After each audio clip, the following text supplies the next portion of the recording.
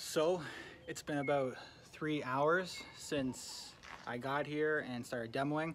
Uh, all this is on my own, so uh, I'm trying to save as much money as I possibly can uh, in this renovation. But uh, come check it out, what you can do in three hours. When you do a couple of these, you learn some tricks.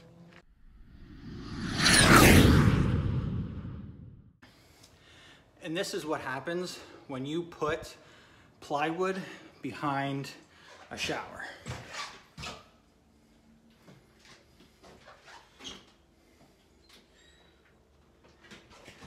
Plywood is not used to reflect water. It causes a lot of damage. So just one of the surprises so far in this new duplex.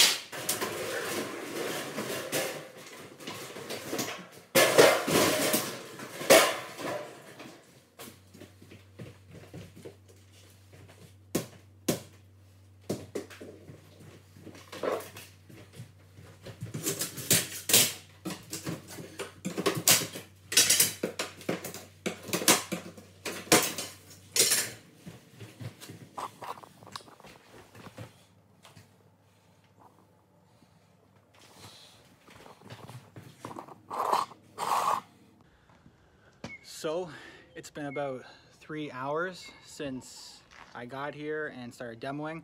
Uh, all this is on my own, so uh, I'm trying to save as much money as I possibly can uh, in this renovation. But uh, come check it out, what you can do in three hours. When you do a couple of these, you learn some tricks. So ripped out all the lovely smelling of cat piss carpet. We ripped out, ripped out all the flooring in every single room.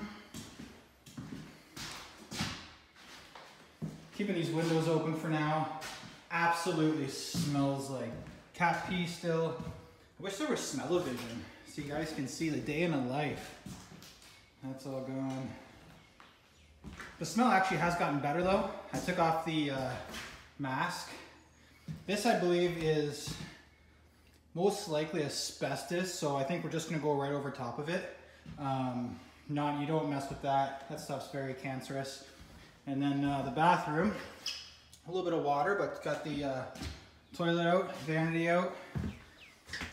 Got some mold there, but that's what happens when you put plywood behind a shower. So I'm gonna rip out all of this and uh, that's gonna be the cement board. I forget what they call it. I think a DensShield or something like that those were a pain in the you know what to get off so that's gonna be tomorrow.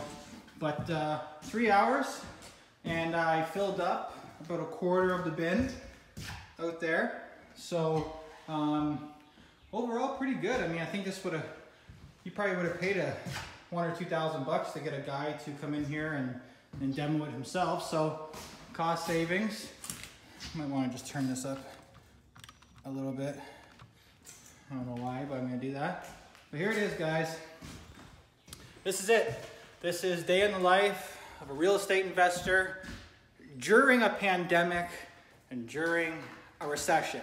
So thank you for watching. Uh, make sure you click subscribe, smash that like button, share this content, and I'll see you in the next video.